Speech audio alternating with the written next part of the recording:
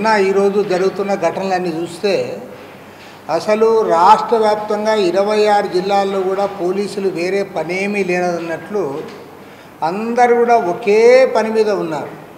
ప్రతిపక్ష పార్టీలు ప్రజా సంఘాలు ఏ కార్యక్రమాన్ని తలపెట్టాయి ఆ కార్యక్రమాన్ని ఏ రకంగా ఆపాలనే దాంతో వాళ్ళు ప్రయత్నం చేస్తూ ఉన్నారు తప్పితే అరే వాళ్ళ ఇష్యూ ఏమిటి?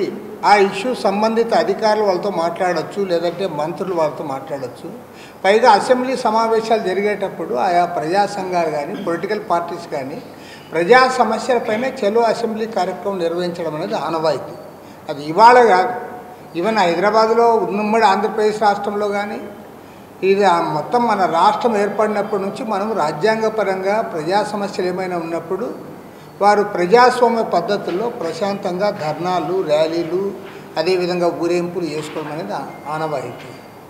మరి జగన్మోహన్ రెడ్డి ఏమన్నా ఇక్కడ కొత్త రాజ్యాంగాన్ని అమలు చేస్తానడం అర్థం కావడం నువ్వు ఇరవై ఆరు జిల్లాల్లో కూడా నాయకులందరూ కూడా గృహ నిర్బంధం చేస్తూ ఉన్నావు. ఎక్కడికక్కడ నిర్బంధిస్తూ ఉన్నావు. పోలీస్ స్టేషన్లు అంటే వాళ్ళు పోలీసులు అందరూ కూడా ఏం పనిలో ఉన్నారంటే రైల్వే స్టేషన్ల దగ్గర కాపలా బస్ స్టాండ్ల దగ్గర కాపలా గేట్ల దగ్గర కాపలా అందరు కూడా టెంట్లు వేసుకొని ఎక్కడికక్కడ కూర్చొని వచ్చే వాళ్ళందరూ కూడా అరెస్ట్ చేసే పనిలో ఉన్నారు తప్పితే వేరే పనేం లేదు. మొత్తం ఇవాళ ఏఐటీసీ లీడర్లు సిఐటి లీడర్లు ఐఎఫ్టీ లీడర్స్ అందరూ కూడా అరెస్ట్ చేయడము గృహ నిర్బంధం చేయడము పోలీస్ స్టేషన్లో నిర్బంధించడము అదే పనిగా పెట్టుకున్నారు. తర్వాత ఇక్కడ మొత్తం కళ్యాణ మండపాల్లో కూడా అన్ని చోట్ల కూడా వాళ్ళని అరెస్ట్ చేసి వేలాది మందిని నువ్వు ఈ రకంగా ఈ రకంగా నువ్వు పరిపాలన చేయగలవా అని నేను అడుగుతాను ఇది పిచ్చి ఎంత పరాకాష్ఠకు చేరిందంటే ఇవాళ బాపట్టలో ఇరవై ఐదు ఇరవై ఆరు ఇరవై ఏడు తేదీల్లో మా రాష్ట్ర వ్యవసాయ కార్మిక సంఘం మహాసభలు జరుపుకుంటా ఉన్నారు. వారు వ్యవసాయ కార్మిక సంఘం ఆధ్వర్యంలో వారు మహాసభ జరుపుకుంటా ఉన్నారు. అక్కడున్న పోలీసు అధికారుల పర్మిషన్ తీసుకున్నారు. పైగా ఒక పబ్లిక్ మీటింగ్ ప్లేసు ఇక్కడ జనసమ్మర్దంగా ఉంటుంది. కాబట్టి మీరు ప్లేస్ మార్చుకోమని చెప్పి డిఎస్పీ గారు చెప్తే ప్లేస్ కూడా మార్చుకున్నారు అక్కడ మీటింగ్ జరుపుకుంటారు. మరి అది పోలీస్ పోలీసు అనుమతితోనే జరుపుకుంటున్న మీటింగ్ అది. అయితే ఓప ఎస్ఐలు కింది స్థాయిలో ఇక్కడేం పర్మిషన్ ఇచ్చారు కింది స్థాయిలో వాళ్ళు మీరు మహాసభలకు పోతున్నారు మహాసభలకు మీరు పోవద్దండి అని చెప్పి వాళ్ళు నోటీసులు ఇస్తూ ఉన్నారు. మరి మన రాష్ట్ర చరిత్రలో ఏనాడైనా ఈ రకంగా జరిగిందా? ఒక సంఘం ఒక వ్యవసాయ కార్మిక సంఘము ఒక ప్రజా సంఘము వాళ్ళు మహాసభ పెట్టుకుంటే దానికోసం ఎప్పుడో ఒక సంవత్సర కాలంగా వాళ్ళు ప్లాన్ చేసుకొని పెట్టుకుంటే వాళ్ళకి పోవద్దని మా బాగా క్లియర్గా రాస్తాడు.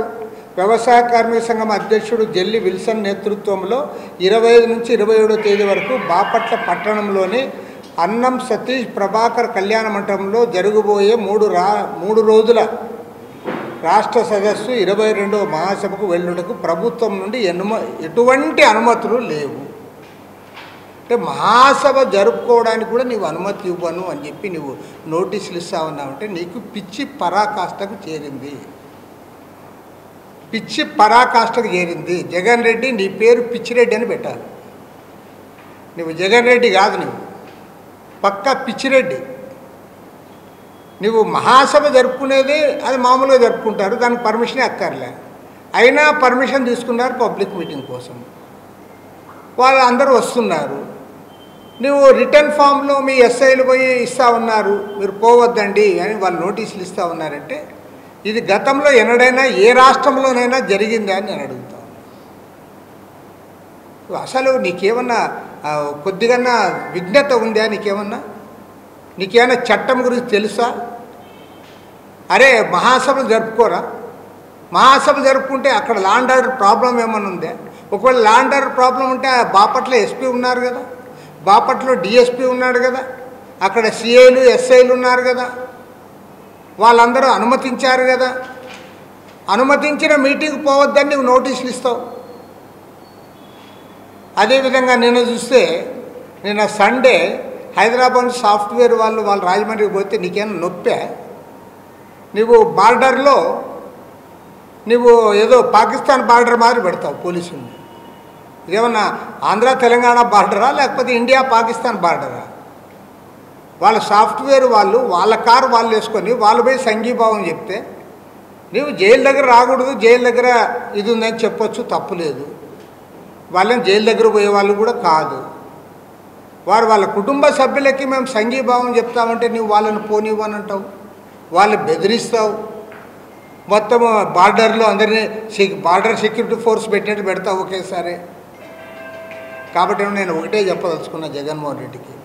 ఎలాగూ అసెంబ్లీ సమావేశాలు జరుగుతూ ఉన్నాయి. నీవు రెండు పనులు చేయి. ఒకటేమంటే అసెంబ్లీలో ఒక చట్టమే తీసుకొని రా. జగన్మోహన్ రెడ్డి పిచ్చిరెడ్డి అధికారంలో ఉండగా ఈ రాష్ట్రంలో ఎవరు మహాసభలు పెట్టుకోకూడదు. ఎవరు ర్యాలీ చేయకూడదు. ఎవరు ధర్నా చేయకూడదు.